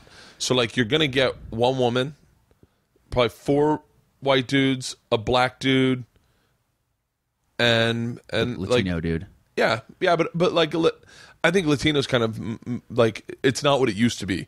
You know, like it used to be like uh like the Latin Kings of comedy. genre, yeah. Yeah, now it's just like Al Madrigal's Latino, but he doesn't Yeah. fucking talk about it. Right. You know, but he's but like if they used to do a Latino show, showcase, Al would always be putting the Latino one. He's like, "Wait, wait, why can't I just be regular?" That's funny. So like uh like yeah, it's like think of all the Latino guys doing stand up that you don't even really they're I mean they don't it doesn't really matter, you know. Right, Um right.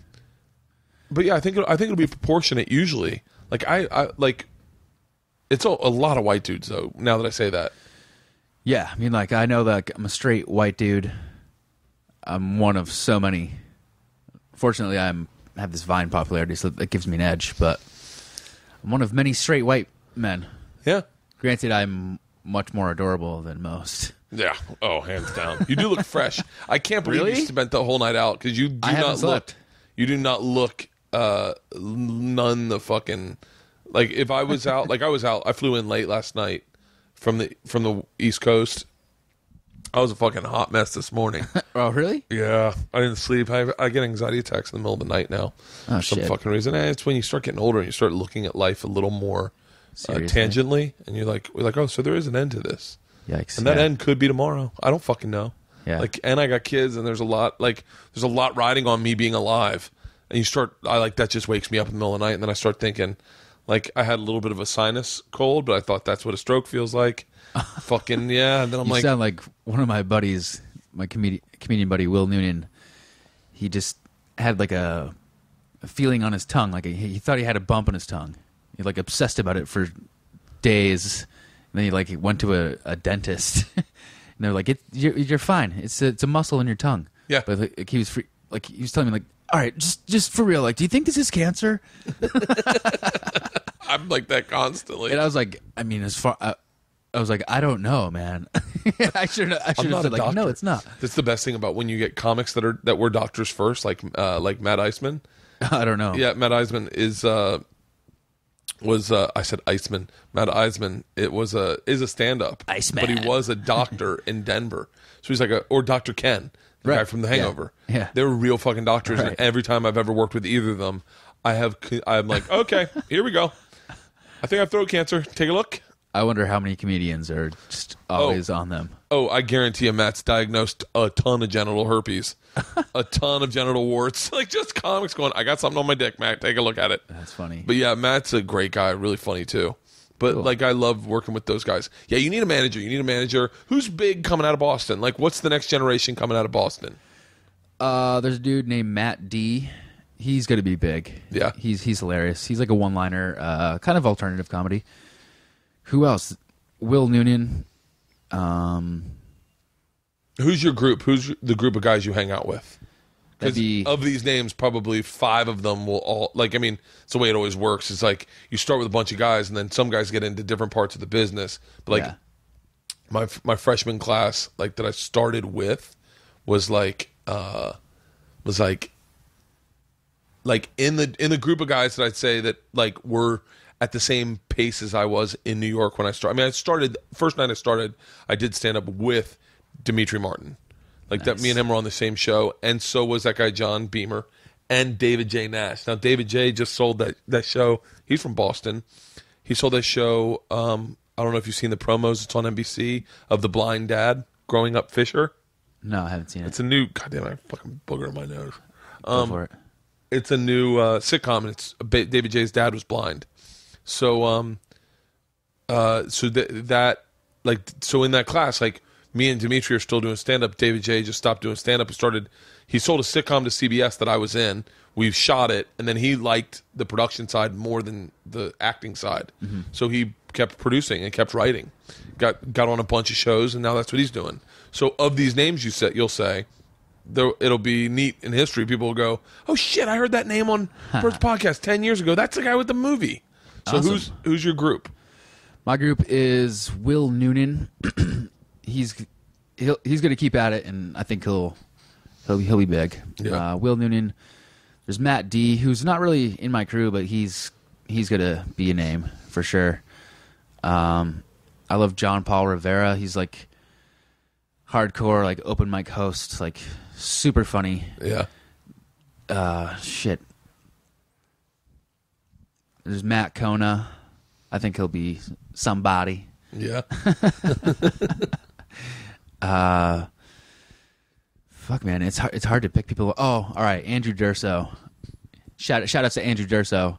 Yeah. he's, he's uh so enjoy. He's so likable. Like everyone in Boston loves this kid, and he's just fucking hilarious. I can't really explain it. What was the guy's name that does one liners? Matt D's? Matt D. Yeah, Matt space D.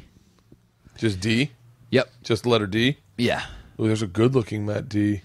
Yeah, he's not bad. No, no, no, the, no. The, I spelt it wrong, but there's Oh. another Matt D from Australia. Matt D from Boston is nerdy looking. Yeah, stand up comedy, Comedy Central stand up. You ready? Yeah. Let's listen to a little bit of his stuff, guys. Let's break out a new entertainer right here. Oh here, shit. right now. He's like, "Don't do that one." Is he black? No. I might have the wrong guy. Does he look black? no, not at all. Are you sure? He's white with glasses. Wait, he's white. Is this him? That. What? That doesn't look like him. It kind of does. Maybe that's just a weird headshot. Is that? Hang on. Uh, no. this isn't him. this can't be him. He's on Twitter. Uh, Uh, has he been to the Glasgow Comedy Festival? He might have. Okay. Here we go. Tell me if this is him. Sure. Fucking come on, Comedy Central. From the New York Comedy Festival. That's him. Okay, all right, we're gonna let it build up. That reminds I me wonder, of I another wonder what the I wonder what the logistics of playing other comics bits on your podcast. I wonder what the legal logistics of this is. Right. Well, Matt, hopefully you're hopefully if he's any if like a regular comic, he's going. I appreciate you playing one of my bits on your show. I bet. I bet. Yeah. So we'll let it load. I don't want to stop it right in the middle. There's another name, Dan Crohn, Dan Crohn. and uh, yeah, he's been around forever. He was on WTF once. That was like a big deal in Boston. Really? Yep. WTF's a big uh it's a big it's a good podcast. He was on a live one, which isn't as cool, but still very cool. It's amazing how our brains will justify success and like eh, but kind of put it in check. yeah. Like I, I did one of those, but it was a live one. I didn't get to do my one-on-one where I walked through my entire arc of Yeah. my career and stand up and what happened. All right, let's see. It's still loading, Matt. Well, we'll see the punch setup maybe. I don't want it to stop loading. All right. All right, we'll let it load. Um, yeah, I listened to the last one he did with. Uh, do you listen to a lot of podcasts?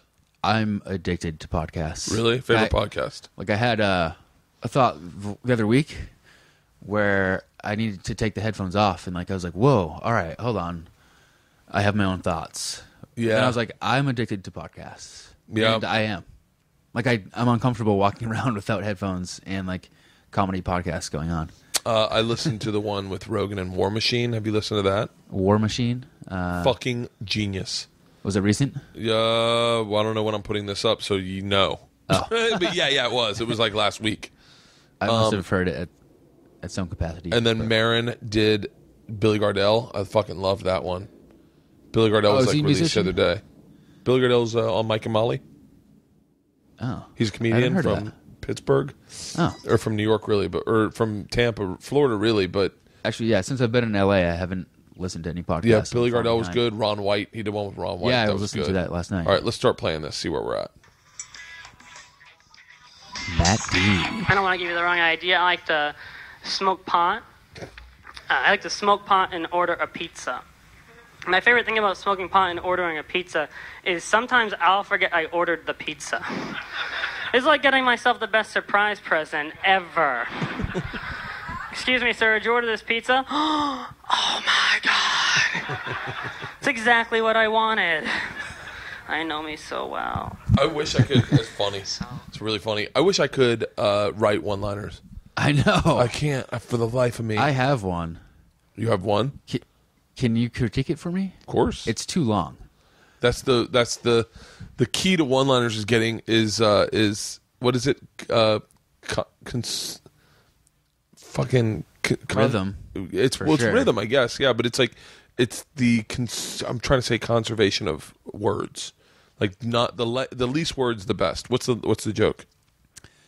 All right, it's, it's too many words, and uh, it's It's a great way to start it, by the way. by the way, this for the record, this is exactly how I'd start on stage. I've got a one-liner, guys, but it's got way too many words. But I'm just going to tell it to you anyway.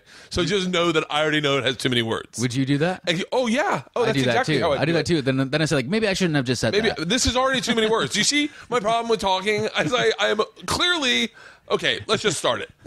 nice. All right. So you so you use that. I, yeah, I would do that in a part. My, I believe in. Sta- I believe stand up should be such a genuine reflection of your personality. right. right. I, I did. I did something this weekend that was a lot of fucking fun. I want to hear your joke. But what I did is I took an old joke and I broke down how stand ups will take an a, a take a real event and spike it to make it look to make it funnier. Oh yeah. And then so I took a story, an old joke I have about um, about being in a grocery store with my wife and saying get a thin cucumber, and if you're gonna put a vegetable up a girl's ass, don't use a cucumber, use a carrot.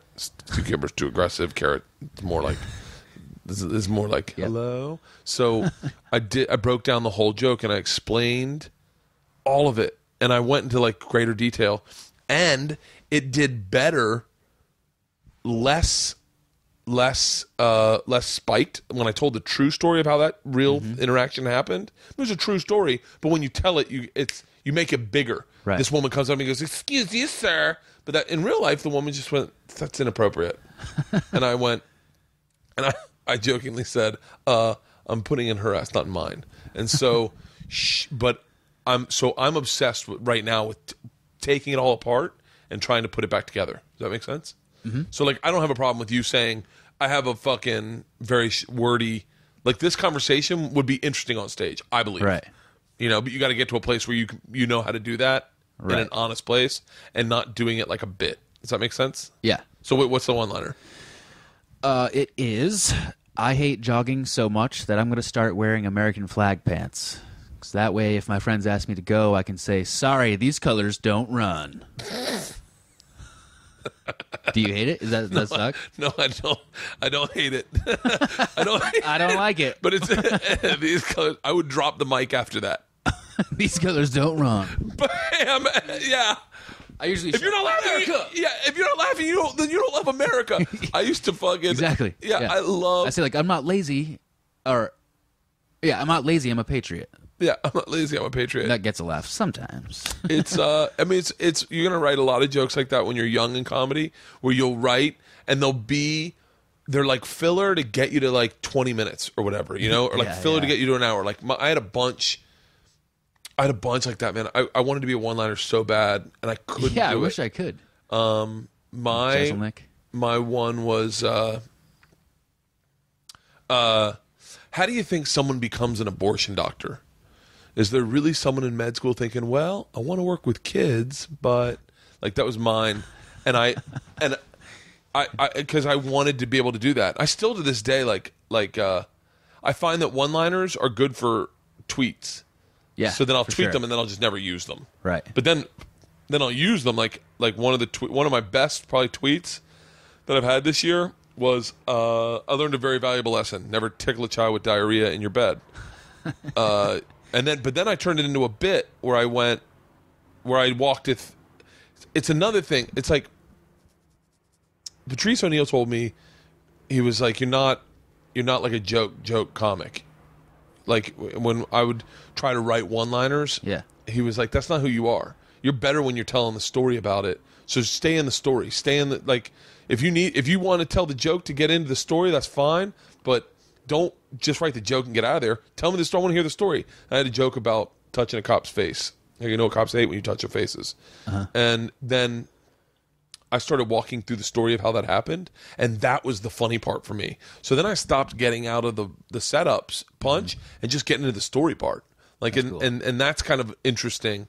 But like that was a that like so. I, but the other day I worked on that uh the um tickling. I go, I tickle her, she shits the bed. She starts crying. My wife's yelling. The dog's trying to eat it. That's when I realized we're not ready for the apocalypse.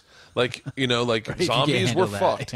So, but uh, Dog's trying to eat it. yeah, we have a bull mastiff that's in the hospital right now. Oh, right. It's been in the fucking I'm hospital. following that. Sorry about that. No, it's fine. It's fucking twenty fucking thousand dollars a day.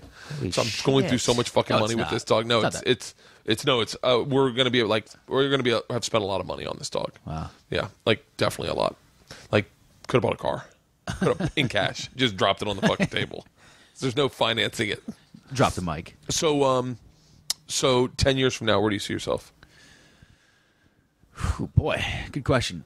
Successful stand-up comedian, making a living off of that, and if TV and Would SNL like- comes would you- along, Would you like to? What would you rather do? Uh, sitcom, hosting a show, or or uh, or sketch comedy? We won't say SNL because everyone's gonna go. Oh, I'll take SNL because then I'll also be a movie star. But like Right. like sketch comedy, sitcom character, or like hosting a show like uh, like on fucking Spike, or you know, or something. my instincts tell me sketch. I haven't experienced sitcom or hosting. Yeah, I would love a sitcom too, man. fucking sitcoms are amazing. I would also li- like to be in movies as well. I grew up worship- worshiping Jim Carrey. Like, Yeah, I'm not expecting that career, but if I could like make a kid like I was, like Jim Carrey, like changed my life. If I could like do that to Yeah. some young person, that'd be but fucking it, amazing. it won't. You'll, it, it's it won't. It'll never feel like that. oh wait, it'll never feel like that. It'll never feel like that. You'll you will never feel what that the feeling the feeling you had for him Mm-hmm. and you were like, God damn it. And the realization you believe that maybe he had going, God, I can't believe these kids fucking idol like Bill Murray. Bill Murray was my guy. Uh-huh. Like I was like, God, if I could ever be like fucking Bill Murray and just have kids fucking worship me and and me define their sense of humor. Like he defined Right. my sense of humor. He defined my character. How I act and interact in society is based on Bill Murray and Stripes. Like hi- him and Caddy, like not Caddyshack as much, but like I quote like Bill Murray, the way he carried himself in every fucking movie. That's the way I awesome. I wanted to be funny like that. I wanted to be lighthearted. Ghostbusters. Like, I Hell wanted yeah. to be that character in life. Um, but so cut to I have a show called uh, Hurt Bert. Yep. And our ratings are fucking through the roof for the wrong demographic.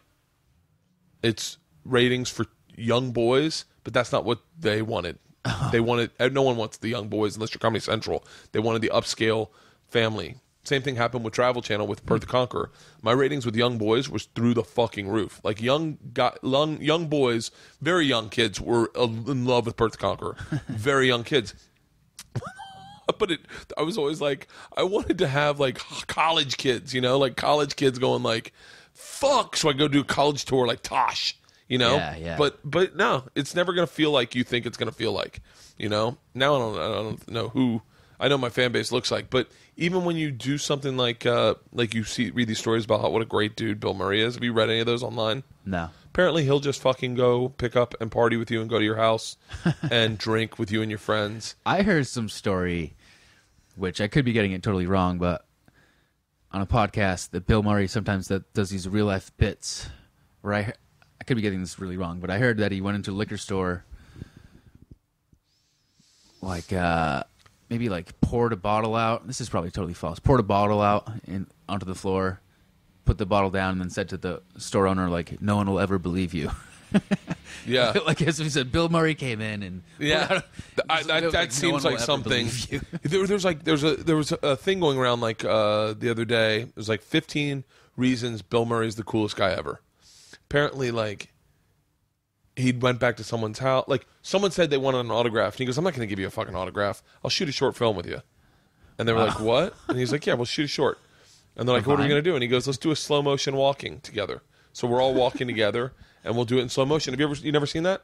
no, no. Uh, it, let's see if I can find it online. I should have a computer right now. It'd be a lot more helpful than this fucking just going on my cell phone. um, Bill, listen, I love this fucking Bill Murray slow mo walking. Bill Murray slow mo, Slow mo. slow. Okay. Here we go. Watch Bill Murray take some fans on a Wes Wes Anderson style slow mo. So apparently, I'm sure this is on here. Bill Murray is the best for reasons only digital imps that run Reddit know. The following video of Bill Murray, Bill Murray walking in slow motion with a group of fans is circulating around the web. Why?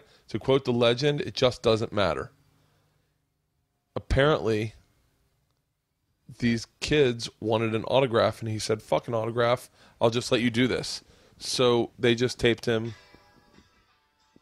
they did all this like it's a wes anderson trailer Right. Like and that's just bill murray walking with guys no one's in costume it fucking the internet sucks but like no one's in costume they're all clearly at a school i'm guessing That's awesome. Fuck. Oh, fuck it. Oh, fuck it. All right, but yeah, it's oh, it's, uh, everyone. What a fucking payoff! But there's uh, but it's Bill Murray walking in slow mo, and apparently that's what he just did. That's I think that's fucking amazing. That's awesome. I'd love to do that. Like I did. I- I'd love to be that famous that I could do stuff like that, and it would go around, and people would go, "Oh, how Right. cool is Bert Kreischer?" I know. Yeah. But you know, I always hear how Tom Hanks is awesome. really, Just like super down to earth. I don't have any like stories about it, but Yeah, I've heard. Uh, I like when people diva out. Like I like seeing that where they fall apart. yeah. Like Kellen Winslow's. I listened to Kellen Winslow, the fucking wide receiver. Oh, I don't know. Kellen Win. Great, now it starts playing. fucking, my phone is fucked. Um, Kellen Winslow. I listened, I listened to him freak out on his dad on the phone. I'm a grown man, daddy, or whatever he said.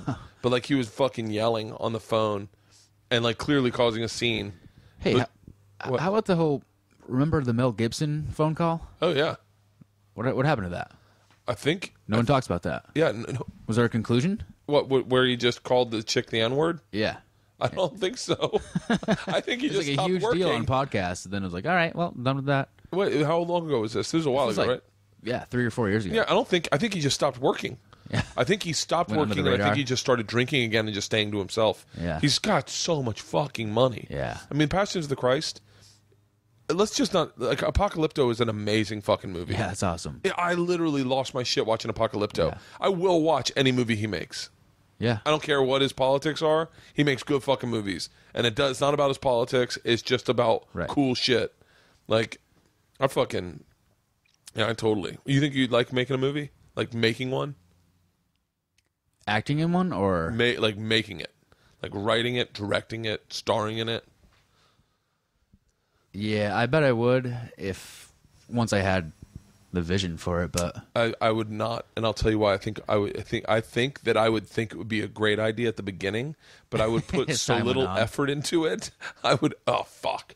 I'd put so much little, so little effort into it that it would just suck dick. right. Like right. at the end, I'd just be judgmental. I want I want to get back to one thing. You were Shoot. saying how it's cool for Bill Murray to talk to fans. One thing I've was really surprised by is how cool comedians are. Like I'm here right now. Like big name comedians are really nice to like open micers. Well, yeah, because I, I think that I, you know what, that's interesting, but I think that we just remember what it's like, and we're That's like, cool. I was like, I remember fucking, I remember Dave Attell and Louis and and guys that I fucking idolized taking the time to explain things to me. That's awesome. Like I was on uh, Robert Kelly's "You Know What, Dude" podcast. Well, he's not a very big comic, but you know what, dude? Fucking love Bobby. He's I love awesome. him. And I talked to him on the phone before I did my first podcast, and I was like, uh, I'm a little nervous. Like, I'm just not in the same league as you guys. He was like, dude, dude, you're one of us. Yeah, He was like, you're a comic, aren't you? And I was Yeah. like, yeah, I mean, for four months. He was like, dude, you're one of us, dude. So uh, that was like, he's an amazing. that was guy. like, like my first introduction to like big names, and he Yeah. was fucking awesome. Bobby. Um, I, I've called Bobby a lot. I've called Bobby. He's actually one of my go-to guys to call when I'm going through something. Yeah, he's really like open about like, dude, call me, call me if you need me. Very open. He's a great person. He's sober, so you're never Yeah. gonna get him like on a fucking bad day. Right, Like he right. has bad days, but he's never. You're never gonna get him like on a. But yeah, man, I think that's the coolest thing. Rogan, I've I've talked to him a number of fucking times. Nice. The comics, comics. Um, I feel like I feel like I'd be scared around Joe. Is he? I feel like maybe he's not. no, no, he's the sweetest guy in the world. Is he fucking super world. friendly? Oh my god, I he think is. maybe the way he treats Brian sometimes. I'm like, oh, maybe he's not. no, no, no, friendly. no. Well, Brian and him have known each other for fucking Right. twenty some odd I, years. I love when they have When they their go little at it? arguments. I Yeah, know. yeah. Joe, I know. I've heard Joe say like, anyone who likes these arguments is a silly bitch. Or like, Yeah. No, I was listening. I was like, oh, I, I like it. Brian and Joe have known each other a long time, and so whenever they, you know, whenever they get into it on the podcast or whatever, I, I always just go, "That's that's literally, it, you're listening to two good friends." That's why I like when I hearing that. It's like Yeah. an inside to their friendship. I was actually on a Death Squad podcast just yesterday. Oh, really? It's fucking awesome. I bumped into uh, Brian. I bumped into Redban at the comedy store, and he's how I heard about Vine. So I was like, uh, "Excuse me, Brian. Uh, I'm a big fan. Uh, I'm popular on Vine." And he actually knew me from Vine. Like he Yeah. eventually recognized me. Like, So did you go down to the Death Squad Studios East? "I went to the Pasadena Ice House." Yeah, this Death Squad Studios East. Is it? yeah, technically. Death Squad Studios East. technically, um, who was there? Is it Uh, the creepy room with the fucking mannequins and the Yeah. fucking? That room scares me sometimes. yeah, it's trippy. Uh, Missy Martinez was there, a porn star. Have you seen her work? You She's know- a stand-up. right. She's She funny too. Started. I got there, I didn't know who she was. And you were like, "Who's this fucking and then hot ass chick?" And then I was like, "You on Vine?" Because I thought maybe she's a Viner. She's Yeah. like, yeah, I am. It's like not safe for work. I was like, "Oh, oh yeah. Oh, those are my favorite vines. That's when I started following Jessie Andrews on Vine. dude, I'm terrified of revining one of those by mistake." Oh Yeah. yeah. It goes on my page. oh yeah. Oh, you so think- like, I like try not to like look at those because like I can easily revine that by mistake. fuck. That's fucking crazy. Yeah, I started following porn stars on Vine. Porn stars on Instagram suck dick. I- not literally. They don't. They're bad at Instagram. it's like Right, right. bunch of tops. Oh, which top should I wear tonight? Oh fuck. Fucking. Fuck you. I'm gonna get back into Vine. I haven't fucking posted. I have more followers on Vine than I have on Instagram.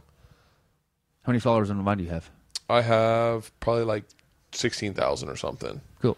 But I don't. I, I haven't vined in maybe a year, if that's uh, probably possible. I'm gonna be under some- a year, but Yeah. Um. All right. Well. Uh, so so when are you moving out here? soon, man. I need to. Uh, You need to. Okay. I'm gonna tell you. This is my two cents. This is, should be your plan. Get up, hooked up with a manager. Okay. well, how how do I do that? Uh, I'll call my management today and tell them to take a look at your Vine. Cool. Okay. and say he's got two million Vine followers. Uh, I'll talk to. It'll be like one of the like one of the um day to day managers, like one of the not I say, not lower every manager's equal, but it won't be like you know the the people who own the company. Right, But get right. one of those on your on your side. They have a bunch of people that work for the company that can kind of throw work your way, and uh, I'll talk to them and I'll I'll tell them to take a look at your vines. Say he's a stand up. He's moving out here and when. uh, Do it. You got to pull the trigger. You got to fucking pull the trigger. Every day you Yeah. don't. And now Boston's a great fucking place. So it's a uh, great it's place Not, to become a comedian. it's a great place to become a comedian. But I've been in LA for a week and a half, and I've been way more busy than I have been in like six months of Boston or Hey, New York. Shut that door. He's gonna start blowing in a second. Like I put, This fucking. I posted a Vine saying I was performing in, in LA. Then I got a bunch of emails and like, "Hey, I'm a comedian. I see you're in LA. Let me put you on a show." Yeah. And it's like business people like, it. "Let's have a lunch. Let's do lunch." Yeah. Well, LA's that you know. LA's that here. I'll do it right now. You gonna call- what are you doing? I'm gonna fucking call my manager. Awesome. They're where? I'll call. I'll call Reg. Say this kid's gonna be a star. This is how it should work. By the way, for everyone listening, this is how this business should work. Uh, Reg, please. Let's put it on speaker. Reg Tigerman's office. Hey, is Reg in? Hey, Bert, he's on a plane headed back. Um, I'll have him in about two hours. Can I get a, Can I leave a voicemail for him? Absolutely. Um, I'll, I'll send Oh. you through to it. Oh wait, okay, yeah, yeah, okay, yeah, perfect. Or I could take a message. Yeah, I was just about to say I could just leave it with you. Yeah. um, tell him there's a guy. There's a guy I'm with. I'm doing a podcast with. His name's he's on Twitter on uh, Vine. His name's Ry R Y Doon D O O N. Uh, he's moving out here in September. He's a comic, and tell him to just take a look at him, and uh, and I'll set him up if he wants to meet him. Nice. Okay. I will let him know. Take a look at his Vine right now. He's got like two. Yeah, I'm going to do it right now. okay, all right, cool. Fun. Okay. all right, Bye. all right, bye. See, that's how easy this business is. Thank is. you so much. Yeah, don't mention it, man. It's not. It's. I don't know why. It w- like it's. now I mean, the, the truth is, why wouldn't they? I've done it for a lot of comics that I've worked Yeah. with on the road. I go, yeah, let me put together a tape, put it online. I'll send it to my manager and let him look at it. It should work that way. It should be that easy. Why wouldn't I want you to have management? Why wouldn't I want you to succeed? There's that mentality in this business of. I, I want to succeed, but I want everyone else to fail. Is fucking loser bla- behavior. I want you to fucking succeed. You know, Thanks, and man. God damn it, be a movie star, and then when I'm fucking fifty and I'm not working, you're like, let me throw a bird a bone, like Adam Sandler does to all those guys, and Yeah, you're yeah. like, I haven't seen them in a while. Yeah. But uh, but yeah, and it's all it's your career. It's now they'll look at your Vine, they'll go, oh wow, he's funny. They'll reach out to you. If you like them, you like them. If you don't, you don't. But now, when you come out, this is what you got to do. And this is the anyone who's thinking about being a comic. And I know there's a lot of people that want to be comics that listen to this podcast. This is what you do. You move out. To, I, I I do believe you have to be in New York or L.A. Those are my. Yeah. That's I do Yep. believe that 100. percent But you got to remember that I'm not saying that that's your calling. That was mine. That's what I did. So I'm telling you what I did. So like Sure. for me, I, I wouldn't have moved to Austin. However, I'm just telling you what I did. You should have a a, a, a writing treatment. So like talk to Reg, and if you guys decide to get to work together or whatever, say, hey, can you send me a writing package so I can maybe get a job writing jokes on a late night talk show? Have one of those written. It's always great when you have material for them, like a script. You should have a seven minute tape, like a, a tape of you, so you can get on Comedy Central. Yep. And if you can do it, put a 22 minute tape together for uh, a half hour presents get headshots. You get, you're not going to really get headshots until you get out here, but get into fucking acting classes. Someone Right. told me, I'm taking an improv class right now. yeah, improv class is fucking great. Yeah, take a class because it just keeps you loose. It keeps you prepared, and you build a body of of of practice underneath you, like a body of like I know how to do this. And then when you go in for auditions, you're confident and you're comfortable and you can kill it.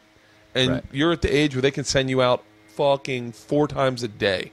Everything's you can play a little older, you can play a little younger, Right, right. and you can play your age. Me, I just play like dads. Yeah. You know, like I'm gonna be a dad on something or nothing, you know, or a fucking drunk uncle. But uh, but yeah, Fun uncle. that should be you know that should be your path. And and, and dude, pull the trigger. You and your chick need to make the decision to fucking come out here and we, do it. we both know it. yeah, She she wants to move. I'm not saying that the vine is the end of your of of like this isn't the end all be all, but and I'm holding up my phone as I'm doing it, but the but what it is is it's the canary in the mine of oh there's something there. Right. Like it's the first sign. You, the, the vine isn't going to be the end of the road for you. What it should be is that first sign that you go, "Oh shit, I got something to offer people." And I'm and it's working. Let me try that on another scale or on another Right. platform. I think you're going to be a fucking dude. You you know, you got a good start, I think. and you're a really nice guy. Thanks. One thing I took from all these podcasts I listen to is that just being nice is huge. Dude, it is the biggest And I am I don't fake it either. Like I am genuinely a nice person. Yeah. And I'm concerned about how people I, I like to be liked. I, Are you yeah. that way too? I'm aggressive about wanting to be liked.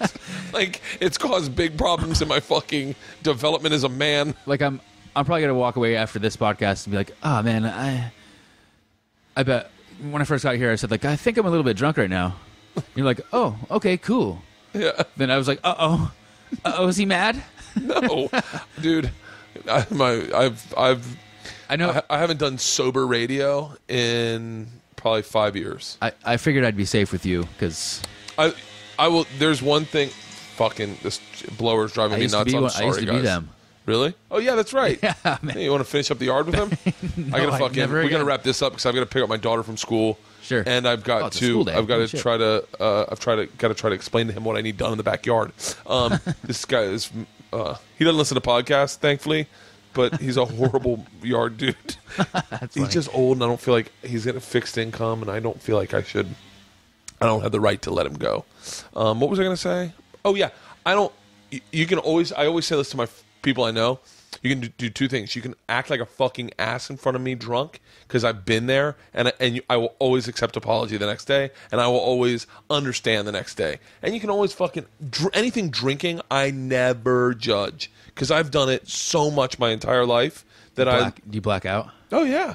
Yeah, I talk about that in my stand up as, as well. Oh yeah. What is uh let me see if I had my blackout joke. Um I'm sure I had a blackout joke. Dave Attell the best one. You ever black out or as I call it time traveling? You you Oh pass out. shit! Really? Yeah. yeah. Is that your I had joke? that same. Ex- no, I.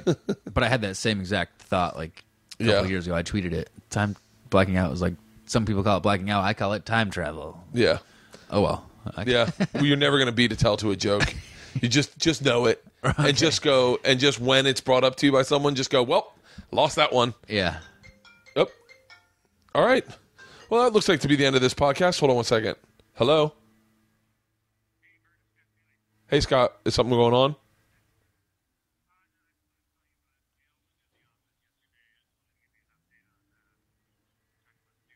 Yeah. Can, oh, yeah. Hold on. Hold on. I'm doing a podcast. Can, uh, I'll call you in two minutes. Can I call you in two minutes? Okay. Perfect. Perfect. Okay. Thanks. Fuck. All right. So, in closing, so uh, so you're moving out here in September. Yeah. Well, it's an open invite to come back and do the podcast when you get out here. Fucking awesome, dude. Thanks Yeah. so much. No, don't mention this it. has been a dream, dream come true. well, it's good to meet you, man. was- I've I been was following nervous you on to do Vine this. for since Vine started. Awesome. And uh, and like I said, man, I hope all that works out with the ma- manager. Get your shit. Get out here. Hell yeah. Get out here. And everyone, if you don't already, follow him on Vine. Follow him on Twitter. Yeah, You're Twi- at Rydoon. I'm Ry Doon on Twitter. Yeah, I want more Twitter followers. God damn it. It's a, it's not a race. You're gonna fucking be famous one day. Yeah. All right, thanks for doing this, man. I appreciate it. Thank you.